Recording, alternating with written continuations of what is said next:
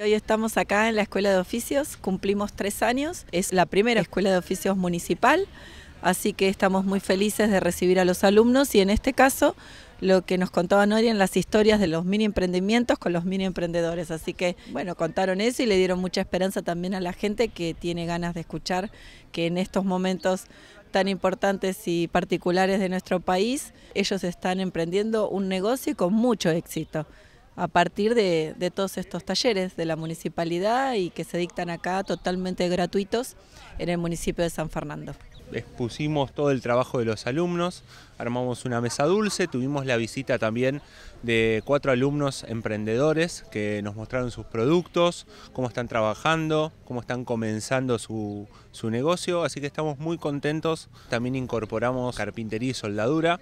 Eh, la idea es que se acerquen a Zarratea 750 entre Sarmiento y 25 de Mayo, teléfono 4506-3638 y correo electrónico escuela de oficios sanfernando.gmail.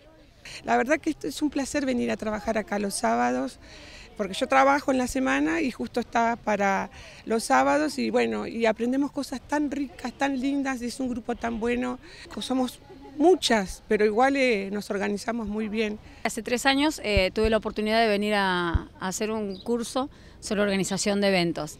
Eso me, apasionó más.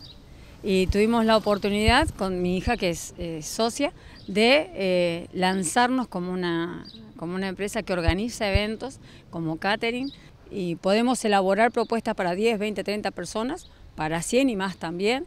Y así que nada, muy contentas. Arranqué este año con el curso acá en la Escuela de Oficios. Y bueno, el emprendimiento ya en sí lo arranqué hace tres años atrás y me encanta y amo cocinar y todo lo relacionado con la pastelería.